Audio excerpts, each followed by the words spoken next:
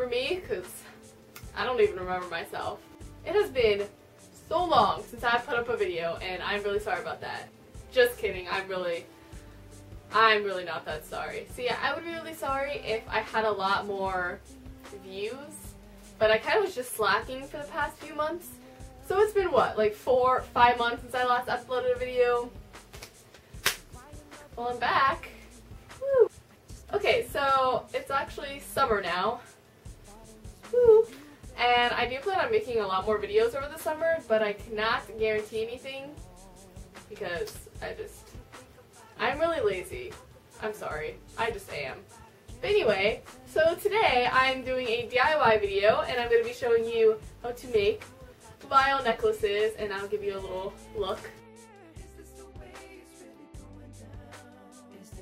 So I'm going to teach you how to make necklaces like these. I have had more, but I actually sold them. So I only have these two to show you guys. Anyway, so basically I'm just going to be teaching you how to make some basic versions of these, but there are a lot of different things that you can put inside them. It really just depends on your imagination. And I'm just gonna, let's just, just go. Just get started. So the first thing you're going to need is a bunch of vials. It doesn't matter really what kind, but I got this pack of nine for about $7 from Michael's. You're also going to need the things that you're going to make the chain with.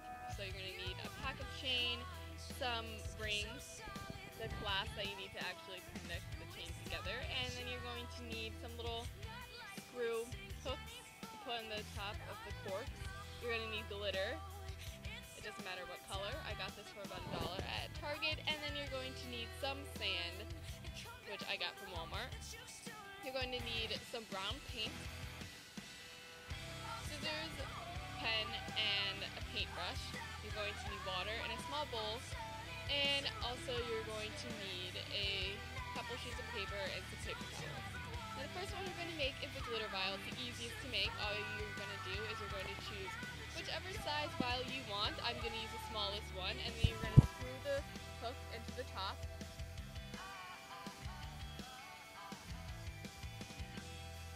Next, you're going to take a piece of paper and you're going to roll it up into a funnel. This is actually really important because it's like the only way that you can actually pour the sand or glitter into your vials, so you really need to be able to do this. So you're just going to put that in one end and then start pouring the glitter into it you want, and then put the top in, which I actually suggest gluing it so that it stays.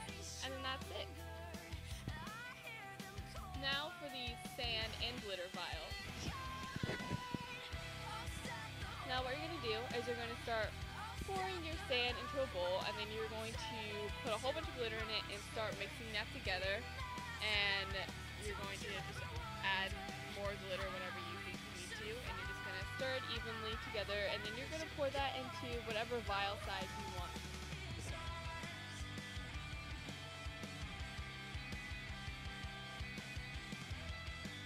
Now for my favorite vial, it's not kind of need a specific shape vial in order to do this, um, but you're just going to take your sand and start pouring it in probably about a third of the way, and then you're going to start making your little notes that you're going to be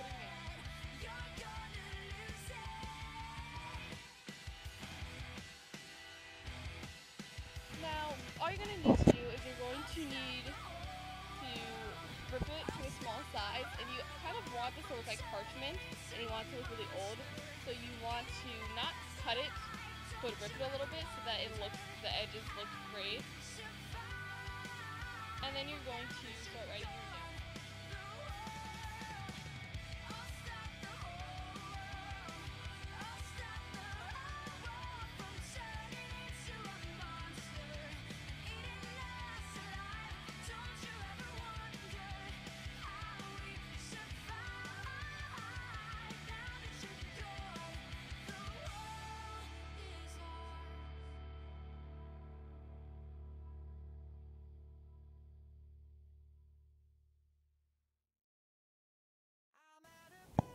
My dearest follower, I've fallen in love with my darling subscriber. I'm sorry, but I'm running away with them.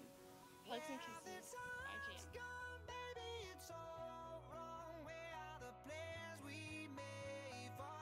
gonna take your bowl and you're going to pour some of your paint into the bowl. It really does not matter what colors you have, but I'm mixing two together so I can get that perfect shade of brown that I really wanted.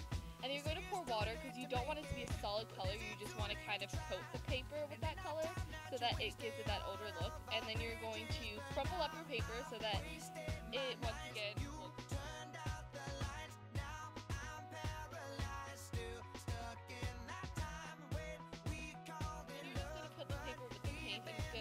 make it look older and it's going to smear the ink a little bit. And then once it's done drying, you're going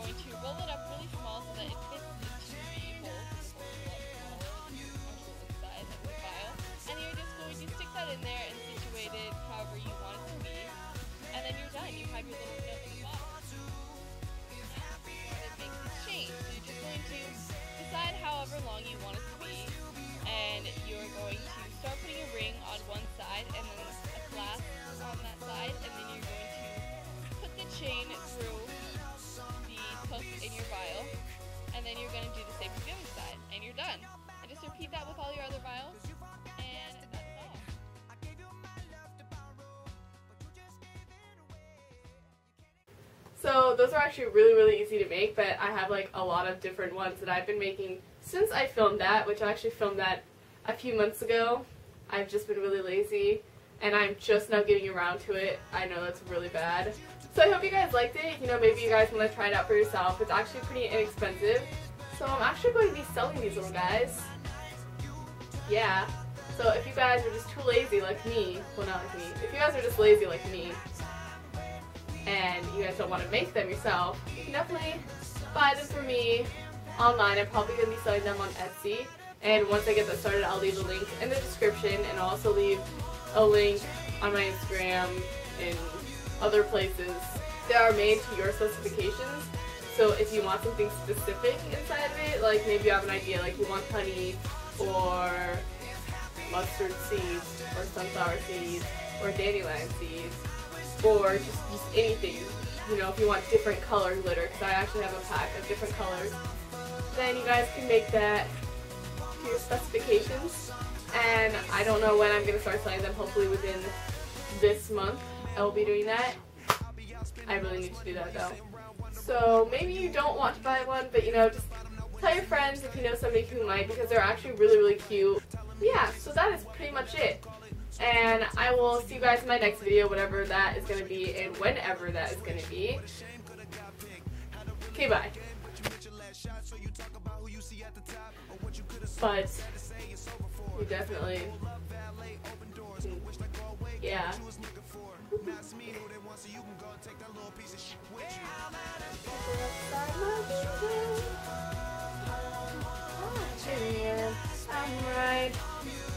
Just cause And I have actually had a video that I wanted to upload. I'm gonna situate myself, myself myself, myself. Well, I haven't made a video in so long, I just don't even know what I'm doing. Don't know